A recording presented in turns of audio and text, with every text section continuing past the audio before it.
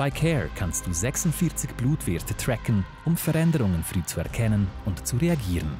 Deine Gesundheitsdaten in einer App. Studien, die von dem Produzenten gemacht werden, der diese Nahrungsergänzungsmittel verkauft, sind nichts wert. Würde ich jetzt nicht unbedingt glauben. Hm.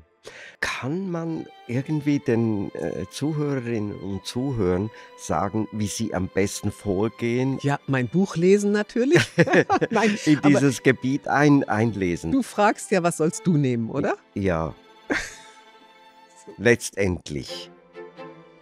Zwerg hoch 2. Der kurze Podcast für ein gesundes, langes Leben. Grüß euch miteinander, meine Lieben, herzlich willkommen bei hoch 2. Das ist der Podcast, wo man alles über ein langes, gesundes Leben erfährt. Wir reden über die neuesten Erkenntnisse rund ums Älterwerden und geben euch auch wertvolle Tipps, wie ihr möglichst lang könnt gesund bleiben und das völlig unabhängig von eurem Alter. Wir bei Zweig hoch 2, das sind Nina Ruge, eine der bekanntesten und zweifellos charmantesten Fernsehmoderatorinnen. Sie ist aber hauptsächlich Biologin und hat sich als Bestsellerautorin ihre Zieleten von Büchern intensiv mit Fragen von der Langlebigkeit auseinandergesetzt. Und da ist der unglaublich neugierige und für neue Themen offene Kurt Eschbacher. Ja, Nina, ähm, wirklich neugierig bin ich. Der große Renner im Moment sind Nahrungsergänzungsmittel. Das schon seit ein paar Jahren ein weltweites Milliardengeschäft, kann man sagen, mit Vitaminen, Mineralstoffen, Omega-3-Säuren. Beispielsweise einzig in der Schweiz werden jährlich für 125 Millionen solche Stoffe geschluckt. Ein Drittel der Schweizer nimmt sie, hauptsächlich Frauen. Wie ist das bei dir? ja, also ähm, du nimmst ja keine, ne? Nein, mhm. nein, noch ja. nicht. Aber vielleicht werde ich bekehrt dann ja, durch dich. Also, wenn du hörst, was ich alles nehme, da fällst du um. Nein, ich nehme tatsächlich eine ganze Menge, habe mir aber sehr genau überlegt, ähm, was ich nehme. Und ich nehme das auch nicht immer, sondern äh, zum Beispiel jahreszeitlich abhängig, aber auch von meiner Konstitution abhängig. Man sagt doch, gesunde Ernährung reicht für einen Menschen. Weshalb braucht es dann noch solche Ergänzungsmittel? Also da sind wir mittendrin. Ja, es ist fast ein Glaubenskrieg. Äh, mhm. in der Diskussion brauchen wir grundsätzlich Nahrungsergänzungsmittel. Und da gibt es eine Strömung sehr kritischer häufig auch Journalisten, die sagen, also das ist alles nur Geschäftemacherei der Pharmaindustrie und auch der, der Hersteller dieser Nahrungsergänzungsmittel. Das braucht man alles überhaupt nicht. Ähm, wenn man sich dann äh, ein bisschen mehr mit den einzelnen Produkten beschäftigt, sieht man das mit großer Wahrscheinlichkeit differenzierter. Das Thema gesunde Ernährung, wenn du dich abwechslungsreich ernährst, brauchst du nichts. Da musst du schon mal genau hingucken, wer tut das wirklich. Ja? Also wenn ich zum Beispiel deine Ernährung sehe, ich sehe ja, was du so isst. Ja, ich finde das schon gut. Ja, du bist jetzt kein Junkfood-Profi, mhm. aber du isst regelmäßig Fleisch, ja. äh, keine großen Mengen an Gemüse. Ähm, Olivenöl magst du, das ist ja schon mal ganz schön. Äh, Süßigkeiten ein bisschen, aber. Eher wenig. Ja. Lieber ein Stück Käse. das ist auch gut.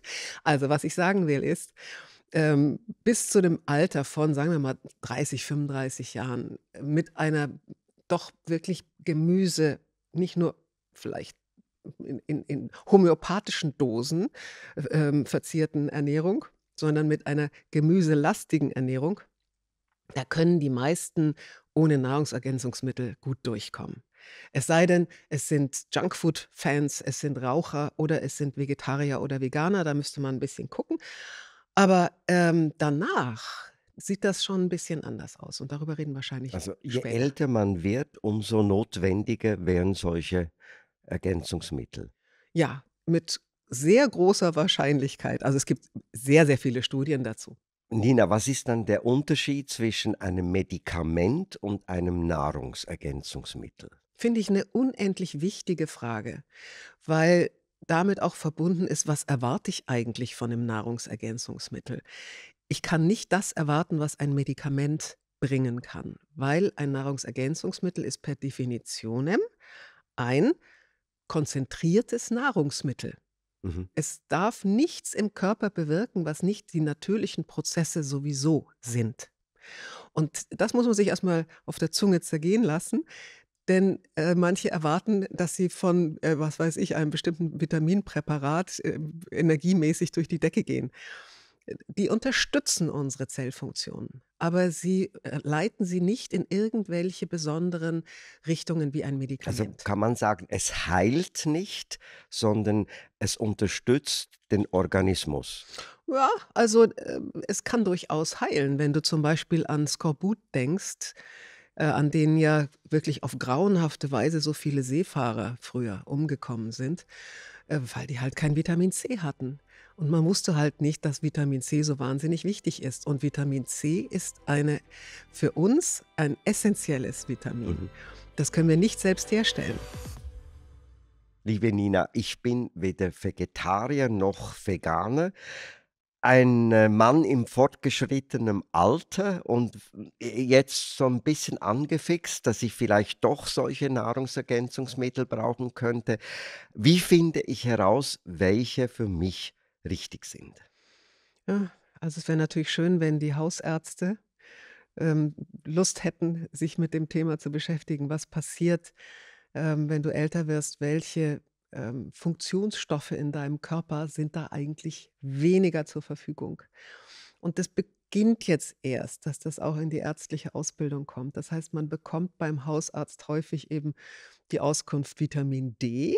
Das Mhm. ist ja auch in den Richtlinien so drin. Absolut wichtig. Je älter wir werden, desto mehr Vitamin D wird es wahrscheinlich sein. Und dann kommen aber noch viele andere Gerade was die B-Vitamine angeht, aber auch Q10 und viele andere Dinge dazu. Da muss man sich schon ein bisschen mit beschäftigen. Das macht auch Spaß. Das ist auch spannend zu gucken, äh, wo kann ich meinen Körper unterstützen. Und ich habe allein in meinem Buch Verjüngung ist möglich, äh, ich glaube 120, 200 Seiten nur zu den Nahrungsergänzungsmitteln geschrieben, bin da tief eingestiegen und war selber äh, sehr fasziniert davon, äh, welche Unterstützung wir unserem Körper geben können, wenn wir es nicht überdosieren, nicht unterdosieren, sondern vernünftig machen. Mhm. Und da ist bei älteren Menschen ein, ein Punkt noch wichtig. Ähm, wenn die bestimmte Medikamente nehmen, also beispielsweise Diabetesmittel oder Cholesterinsenker oder sie haben ein Magensäureproblem oder eine Magenschleimhautentzündung, da muss man immer gleich im Hinterkopf haben, da muss man auch sollte man wirklich bestimmte Nahrungsergänzungsmittel nehmen? Können wir später nochmal drüber Also das heißt, der Hausarzt muss mich beraten, findet hoffentlich raus über einen Bluttest oder irgendeinen anderen Test, ähm, was mir fehlt und ich gehe nicht einfach aufs Internet oder in einen Laden und kaufe mir was ein. Nein, du kannst dich auch in der Apotheke beraten Mhm. lassen. Ich habe einen sehr kompetenten Experten für unsere Folge äh, gewinnen können.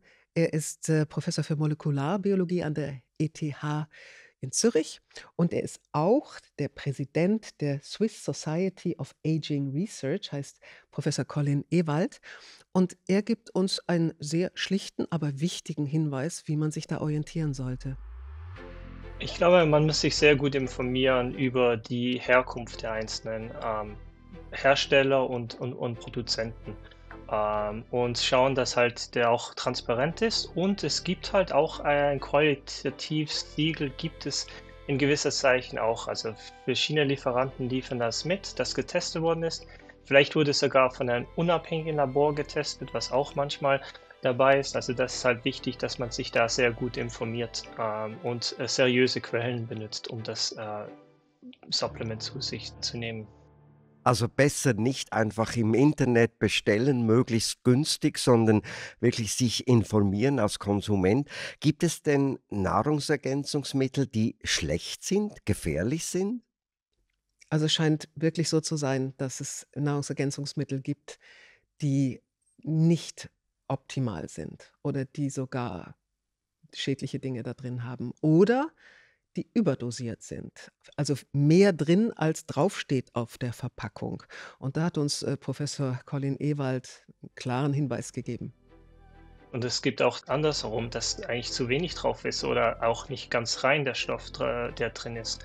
Und es gibt natürlich auch gewisse Sachen von der Extraktion, dass halt Nebenstoffe drin sind, die schädlich sein können.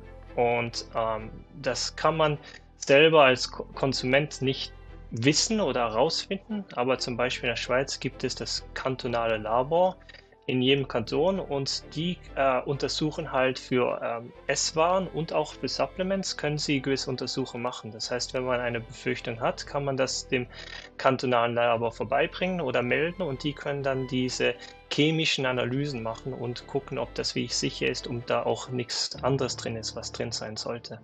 Nina, das ist ein ziemlich großer Aufwand. Macht das überhaupt jemand? Ich könnte mir vorstellen, ähm, dass das relativ selten vorkommt. Nur wenn du wirklich Zweifel hast, du hast was gekauft, hast viel Geld ausgegeben und sagst dir, Moment mal, das ist eine doch vielleicht zweifelhafte Quelle aus dem Internet, dann kann man das tun und damit vielleicht auch anderen eine Unterstützung geben, die Mhm. das auch getan haben. Und dann wird das ja auch im Internet letztlich zu finden sein, wenn eine solche negative Bewertung dann durch die kantonale Behörde ähm, ausgestellt würde. Aber es ist meines Erachtens wirklich spannend und gut, sich äh, zu informieren und sehr praktisch kann man das natürlich in der Apotheke tun. Also wir hoffen, die Mittel sind so wie deklariert. Ähm, wir hoffen, sie nützen auch. Aber ähm, gibt es dann auch klare Studien, die belegen, dass es sich lohnt, Nahrungsergänzungsmittel zu nehmen? Tja, ähm, die müssen ja bezahlt werden, gell? Und äh, wenn eben solche Nahrungsergänzungsmittel ähm, reine Nahrung sind und keine Medikamente, dann kann die jeder herstellen und die kann auch jeder verkaufen. Der muss sie zwar anmelden bei den Behörden und sagen, wie viel da drin ist Mhm. und das kommt dann auf die Verpackung und das steht da auch drauf, aber es wird nicht immer kontrolliert und ob sie dann wirken, da hören wir jetzt mal den Colin Ewald. Also für seriöse Studien braucht man halt klinische ähm, Trials, nennt sich das. Und die sind extrem teuer. Also so klinische Trials kosten zwischen 10 bis 50 Millionen. Und dann ist immer die Frage, wer bezahlt das, oder? Und wenn es ein Medikament ist, dann gibt es halt die Industrie, wo das äh, sponsert. Aber bei, bei Supplements oder zum Beispiel auch bei Generika, da ähm, ist halt der finanzielle Anreiz nicht so groß da und dann kommen solche Studien meistens zu kurz. Es gibt aber verschiedene Supplements jetzt im Space, ähm, wo Studien gemacht werden. Und da, das ist eigentlich sehr interessant, weil auch die äh, Supplement-Verkäufer gemerkt haben, dass der Konsumer sehr interessiert ist und natürlich gerne äh, menschlichen Nachweis haben möchte. Also wir sind auf dem Weg, da ähm, seriöser zu werden, oder? Kann man so sagen? Ja, weil eben mehr investiert wird in Studien. Mhm. Was, man muss einfach im Kopf haben, ähm, ein, nehmen wir jetzt mal das Vitamin D, das kann jeder herstellen. Ja, und wenn ich da eben eine teure Studie für 10 bis 50 Millionen mache, dann können sich die anderen den Studienergebnissen bedienen Klar. und ähm, damit Werbung machen. Aber ich habe es bezahlt. Vitamin D, ich bleibe gerne bei diesem Beispiel. Ein wichtiger Baustein, gerade für ältere Menschen, stärkt die Knochen, beugt Osteoporose vor. Ähm, Brauchen wir diese Pille nur in nebligen Wintermonaten oder ähm, das ganze Jahr durch? Es wird tatsächlich für Menschen bis 40, 45 Jahre nur in den Wintermonaten empfohlen, weil wir es ja selber im Sommer mit dem UV-Licht produzieren. Es sieht nur so aus, als ob ältere Menschen ähm, deutlich weniger selbst produzieren. Ähm, und es gibt auch jetzt gerade eine neue Studie an der ETH, die sagt, ähm, eine ganzjährige Vitamin D-Gabe bei älteren Menschen hat sehr positive Effekte gezeigt.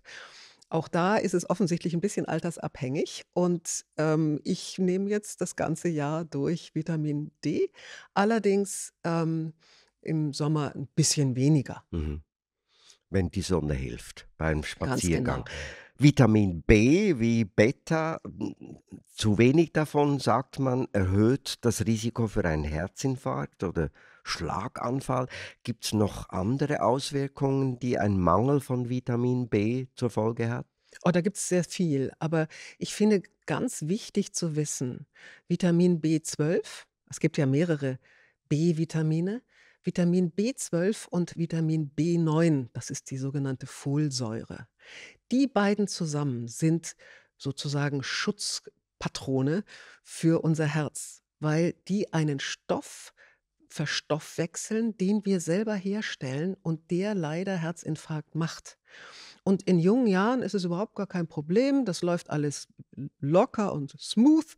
Dann wird dieses Homozystein ganz schnell umgewandelt in unserem Körper und unschädlich gemacht. Und das Homozystein kann zu Herzinfarkt führen. Ja. Und wir sehen eben wieder bei älteren Menschen, dass der Homozysteinspiegel ansteigt und der Vitamin B12 und Folsäurespiegel sinkt. Sprich, da macht es auch wieder Sinn, man kann alles drei messen im Blutserum. Da macht es wieder Sinn zu gucken, sollte ich nicht eventuell dieses Folsäure und B12 regelmäßig nehmen. Habe noch eine weitere Frage zu den Vitaminen. Vitamin C, brauchen wir das tatsächlich zusätzlich? Ist das nicht schon genügend in der Nahrung vorhanden? Da haben wir es wieder mit der gesunden Ernährung. Wenn du zum Beispiel dein Gemüse hm, lange kochst und dann das Kochwasser wegkippst, dann hast du dein Vitamin so gut, also Vitamin C, so gut wie weggekippt. Also das Entscheidende ist wirklich, wie ernährst du dich, wenn du dich mit viel frischem Salat und oder gedämpftem Gemüse oder eben auch bestimmten Obstsorten ernährst, dann brauchst du kein Vitamin C. Aber, wie ich vorhin schon sagte, Vitamin C ist eben bei uns in der Evolution komischerweise, nicht komischerweise, sondern sinnvollerweise, ähm, durch eine Genmutation einfach aus unserem Programm rausgefallen. Wir Also die produzieren kein Eigenproduktion, meinst du? Genau, Ja. wir produzieren kein Vitamin C mehr. Und viele andere Tiere, die meisten anderen Tiere tun das. Die brauchen sowieso keins. Aber es lag wahrscheinlich daran, dass wir, unsere Spezies, ja aus warmen Gefilden kam, Afrika. Und da gab es so viel Obst und Gemüse, da brauchte man kein Vitamin C. Und wenn da das, die Genmutation war, hat das auch nicht gestört. Jetzt aber leben wir in vielen Regionen, wo wir tatsächlich Vitamin C aufnehmen sollten. Da sollte man allerdings wissen, ähm, das ist zum einen Radikalfänger, das ist nicht so verkehrt. Äh, und man sollte wissen, es wird pro Einheit, die man nimmt, nur in begrenzter Weise in unserem Körper resorbiert, also aufgenommen. Also wenn wir zum Beispiel eine Tablette, das gibt es oft, mit 1000 Milligramm nehmen, dann werden mal 800 Milligramm davon locker wieder mit dem Pipi rausgespült, weil wir nur 200 Milligramm auf einmal aufnehmen können. Deshalb sind solche Retardkapseln gut, die halt über den Tag immer mal so diese in etwa Menge von 200 Milligramm Hm. abgeben, wenn sie denn 1000 insgesamt sind. Dein kurzer Kochwasserhinweis interessiert mich noch. Du sagst, Gemüse lange kochen und das Wasser wegschmeißen heißt Vitamin C sozusagen dem Abfluss äh, preisgeben. Stimmt Ja, das? nicht nur Vitamin C, sondern die sekundären Pflanzenstoffe. Wir werden ja noch mal eine Folge unseres Podcasts machen über die wirklich Wunderkraft der Gemüse. Da werden wir es auch noch mal äh, vertiefen. Also ähm, die wunderbaren sekundären Pflanzenstoffe, aber auch viele andere Stoffe werden häufig durchs Ko Kochen, weil da die Zellwände platzen, ähm, in das Kochwasser gespült. Und wenn man halt nur dünstet und ganz wenig Kochwasser dann hat, dann kann man das wieder für eine Soße verwenden und man hat die ganzen Stoffe für sich parat. Und sonst kippt, wenn man sie wegkippt, sind sie weg. Wunderbarer Hinweis. Bei Care kannst du 46 Blutwerte tracken, um Veränderungen früh zu erkennen und zu reagieren. Deine Gesundheitsdaten in einer App. Ich erinnere mich an meine Kindheit. Da ähm, hat äh, die Mutter immer gesagt, ja, im Winter werden Lebertrantropfen verabreicht. Das war schrecklich. Erstens haben die gestunken, bestialisch. Zweitens hat sie die Tropfen in die Suppe getan und da schauten einem so riesen Fettaugen an und ich habe dann ähm, immer versucht, um diese Augen die Suppe zu löffeln, aber irgendwann mal musste man dieses Ding dann reinnehmen.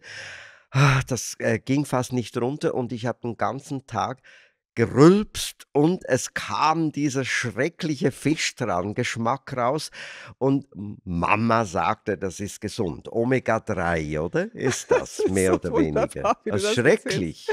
Ähm, ja, aber deine Mama war schon eine gute Mama. Ne? Die hat gesagt, mein Junge braucht Omega-3.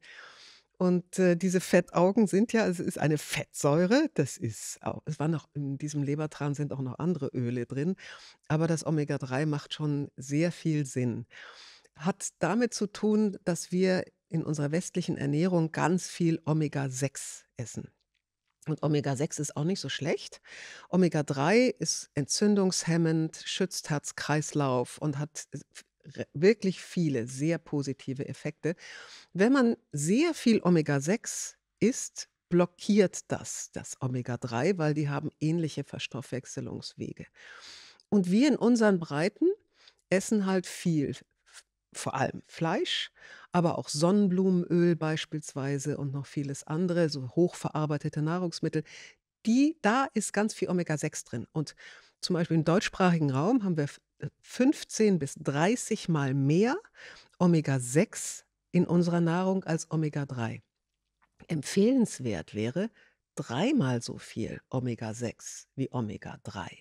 Also wenn man viel von diesen Dingen wie Fleisch etc. isst, dann macht das sowieso Sinn, das Omega-3 zu ersetzen.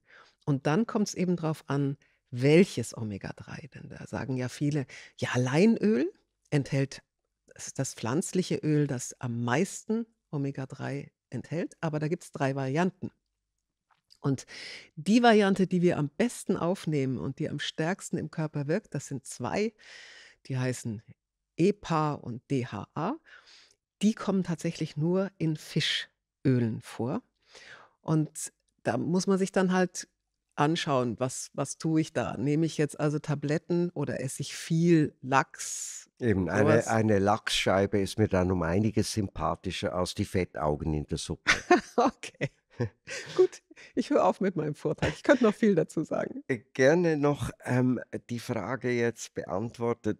Welche Mineralien helfen denn zusätzlich und für was? Ja, also das ist ja auch, die Mineralien sind auch eine Wissenschaft für sich. Ähm, was man vielleicht wirklich äh, im Hinterkopf haben sollte, etliche Mineralien sind wichtig für die Funktion unserer Enzyme.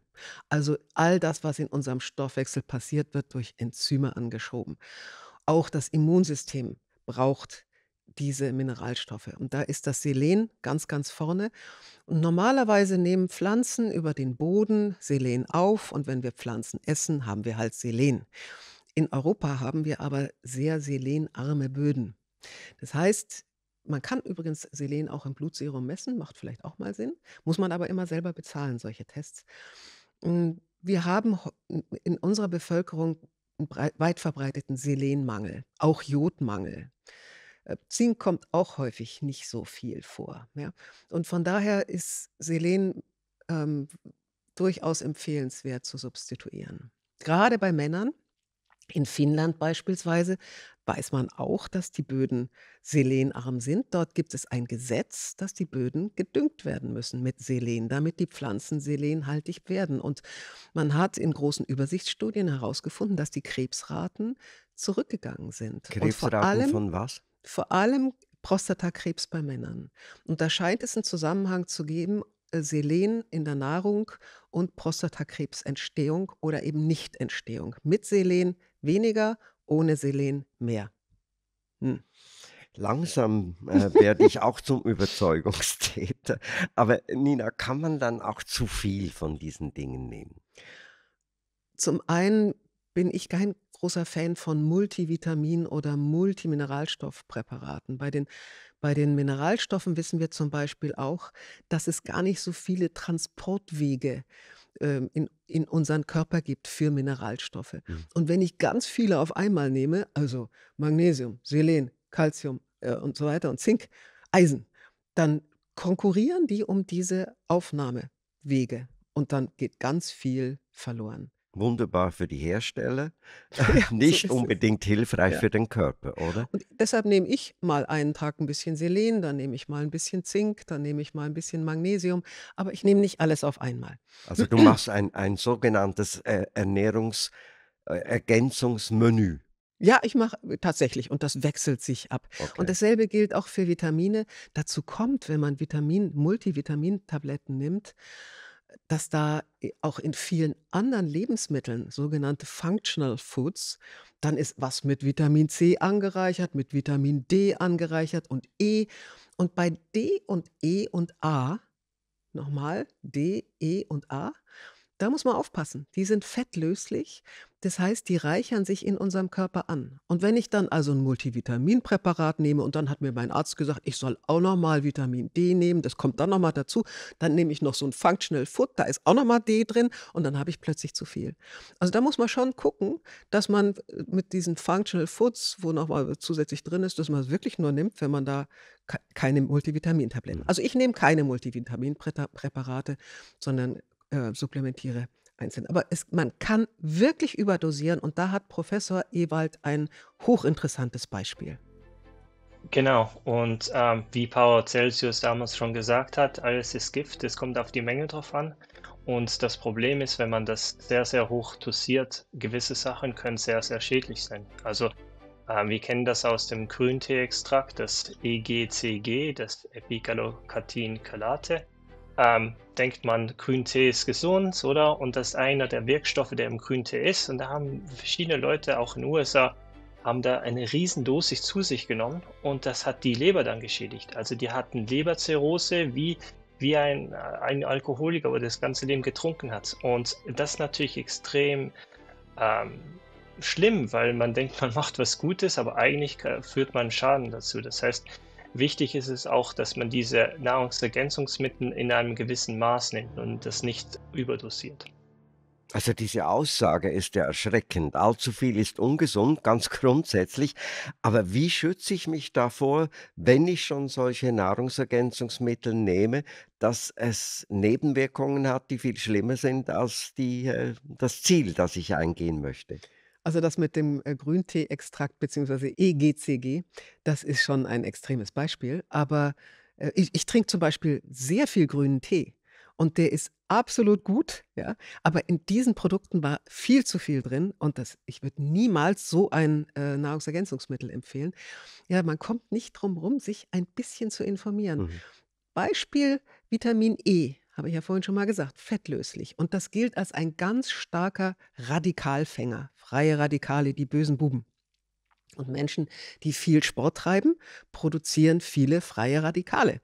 Und deshalb wurde Sportlern Vitamin E empfohlen, auch Vitamin A, auch ein Radikalfänger, auch fettlöslich. Und jetzt haben Studien gezeigt, wenn man sehr viel von dem nimmt und so viele freie Radikale wegfängt, steigt die Krebsrate. Also nicht zu viel Vitamin E nehmen. Das ist tatsächlich äh, Fakt.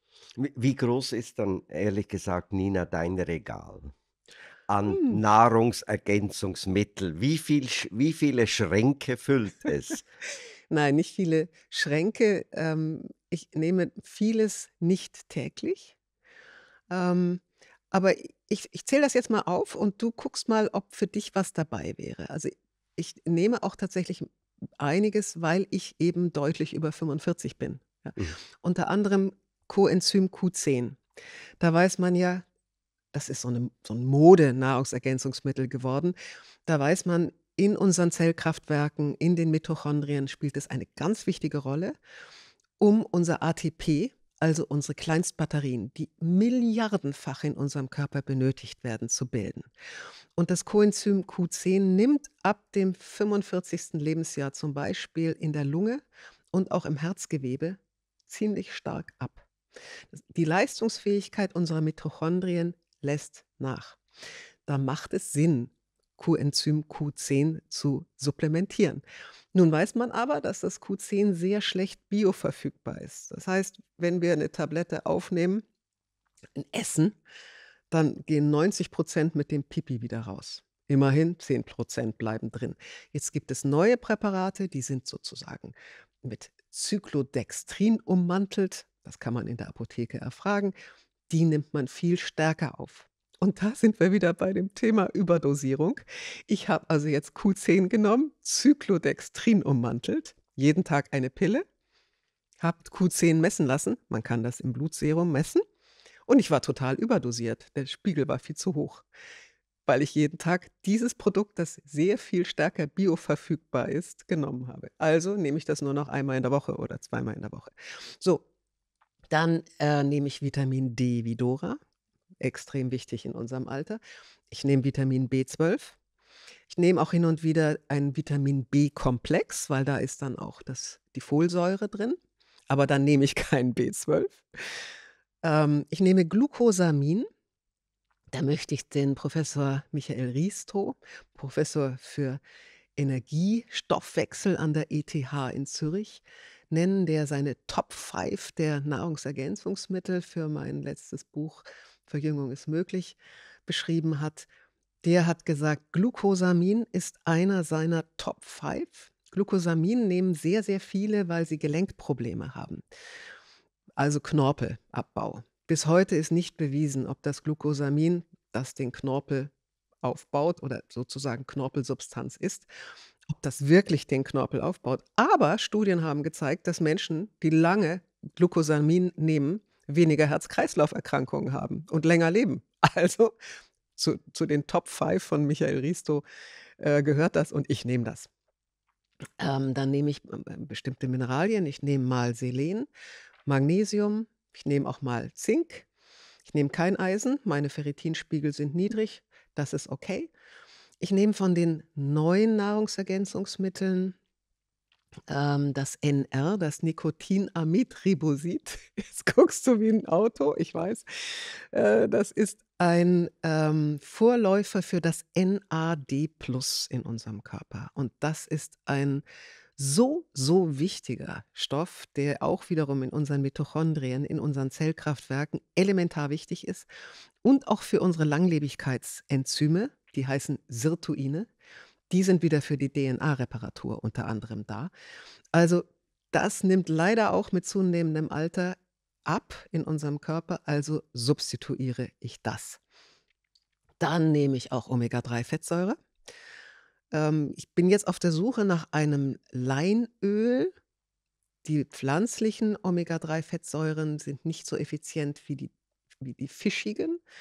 Also suche ich jetzt nach einem Leinölproduzenten, der Algen Omega-3 da drin hat. Gibt es auch schon, habe jetzt einen gefunden.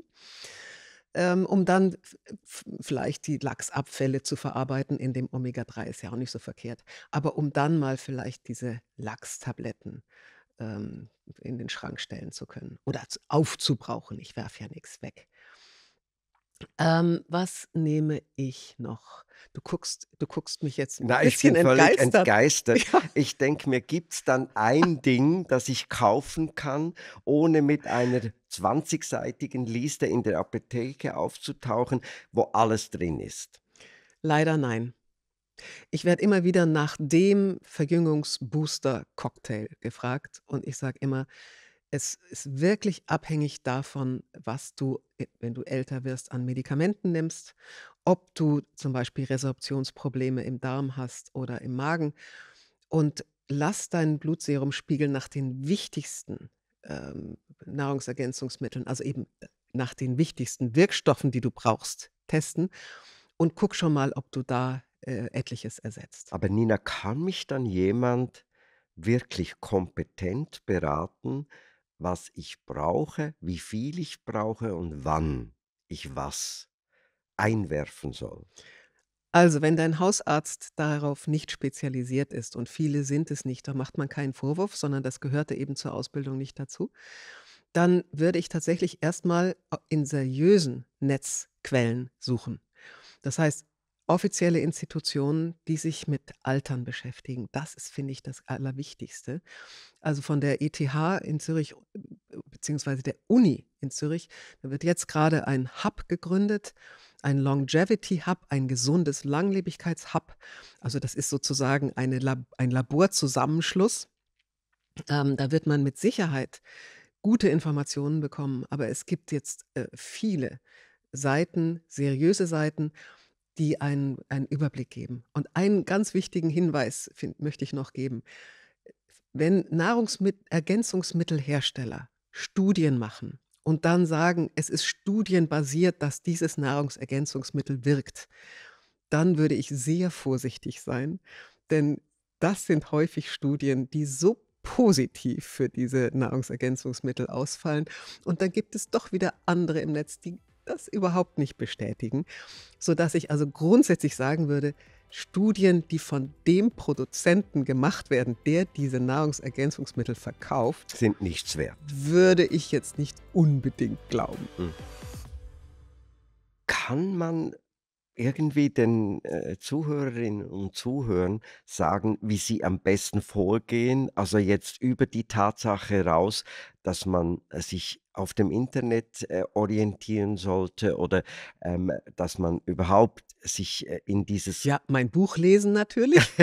Nein, in dieses Gebiet ein, einlesen du soll. fragst ja, was sollst du nehmen, oder? Ja, So. letztendlich. Ja, Völlig Klar. egoistisch. ja, logisch.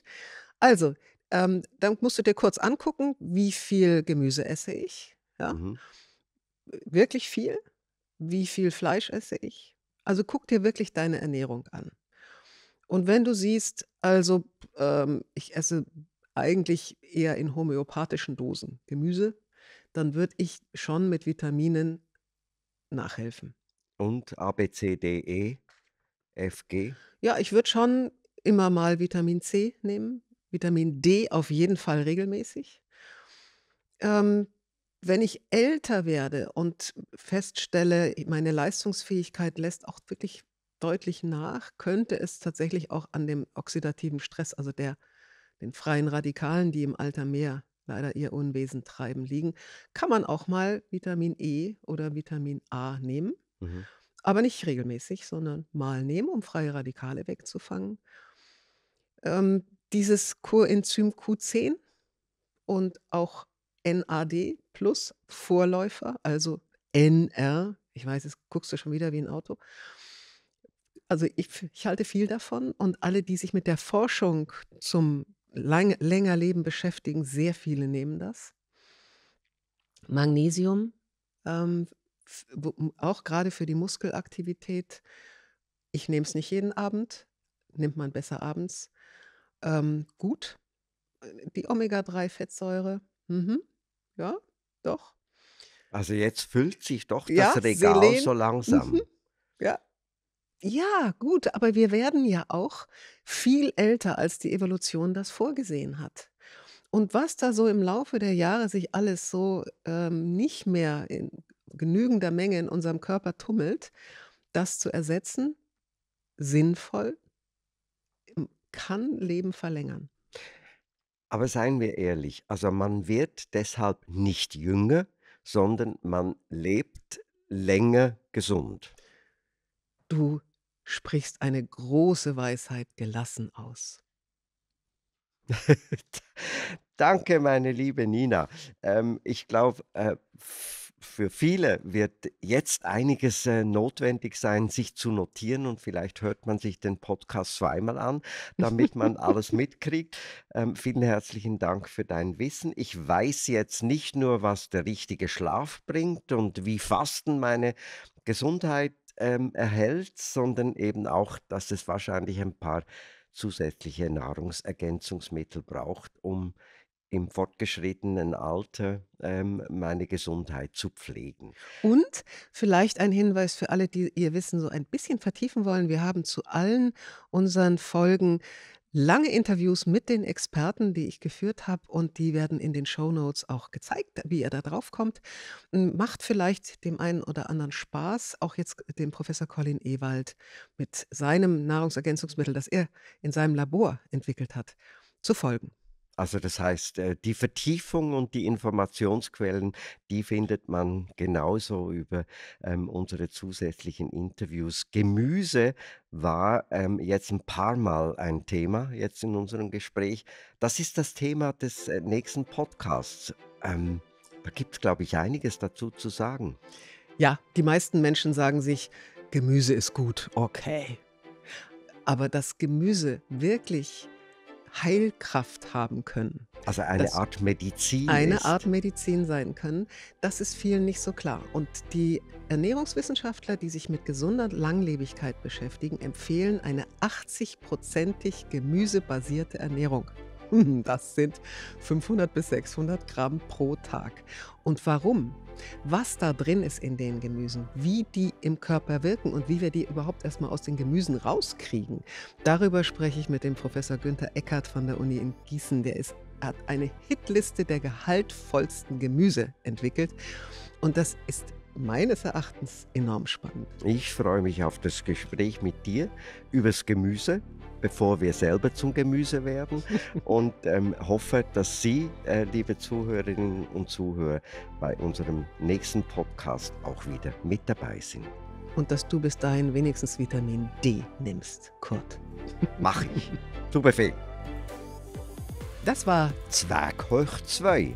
Wenn Ihnen unsere Gespräche und Tipps gefallen haben, dann abonnieren Sie uns auf Spotify, Apple Podcasts oder überall, wo es Podcasts gibt. Die ganzen Folgen zum Anschauen finden Sie auch als Video auf YouTube, genauso die ausführlichen Experteninterviews.